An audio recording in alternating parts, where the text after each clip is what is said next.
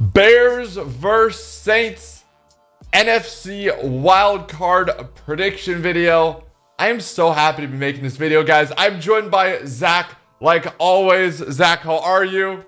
I'm really good right now. I mean, we, as a Bear fan. We said we wanted to make another one of these videos, and it's it's happening. I can't believe we're in the playoffs, eight and eight. I want to give a huge shout out to the Los Angeles Rams. Thank you to the Rams. Thank you to Aaron Donald and Jalen Ramsey. But Zach, we're gonna get a rematch against the Saints. Try. Good snap. Good hold. Ball game. And we're traveling to the Superdome where there will be a few fans. You know, lots of variables right now. Is Kamara gonna play? What's the news with Roquan Smith? What's going on with you know Jaylon Johnson, Darnell Mooney? There's so much in the air right now. All right, Zach. So here's the thing. Defensively, for you know the New Orleans Saints, very very talented group. I, I think you know they haven't played to their potential for most of the season. Really good secondary with Lattimore, Jenkins. You know, they got Davis in the middle. You know, they have a really good front. I think they did sack us like four times. So I see if our offensive line can hold up, but that, that is a very, very good defense. Offensively for the Bears, I'd love to see us control possession like we did last week, continue to run the ball. We need Darnell Mooney healthy. Allen Robinson needs more targets. That is not even a question. But most importantly, Bill Lazor and Matt Nagy can't be afraid to throw the ball. I read the stat that said, you know, I think Trubisky threw the ball more than 10 yards on seven of his only like six or seven passes all of last week. I do think we need to continue with the run game because the run game's been great as of late. Offensive lines held up.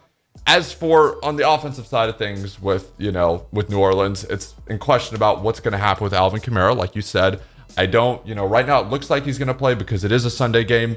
Michael Thomas coming off the IR. How healthy is he? Emmanuel Sanders looked good last week. Drew Brees is Drew Brees, but I Zach, I, it's funny because I said this last week and I'm going to say it again. It's not as much the offense that I'm worried about; it's the defense. You know? Yeah.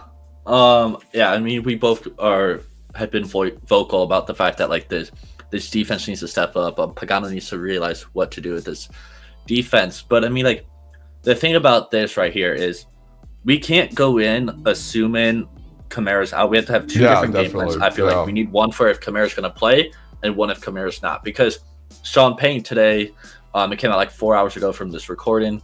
Um, so like noon Eastern on the fourth, saying like somebody asked, "Is Alvin going to be playing?" And he said, "We'll see." Yeah, I did see that. So, Zach, it's one of those things. It's a playoff game, and the beautiful thing about the NFL playoffs is all you need to do is play well for three hours. It's not the NBA, it's not the MLB, you know, it's not a series, anything like that. This plays in our favor compared to if it was, you know, multiple games, of course. But I, dude, I have so many thoughts, but until we see an injury report and find out what's going on with Roquan Smith, if we don't have Roquan. that's such a massive blow to our defense. He's been the best player on defense. We need Mooney. Is Jaylon Johnson? What's going on with him? What's going on with Buster Skrine?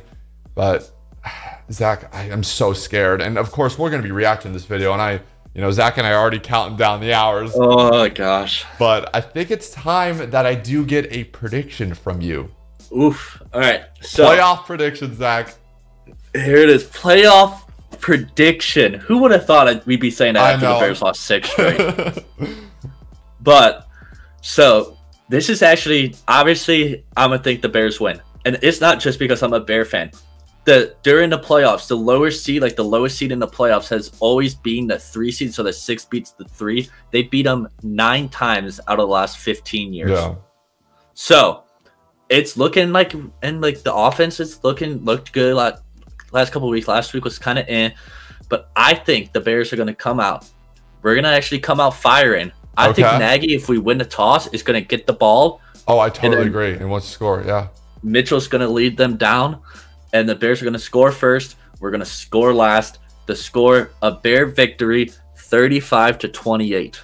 Please, please, please, please. Anyway, guys, make sure you do check out Zach. He will be linked down below. Bears fans, please make sure you guys do drop a like. Please make sure you guys do drop a subscription. This is going to be like the longest week ever waiting for Sunday's game. But oh my gosh. Until next time, we'll talk to you guys soon. Peace.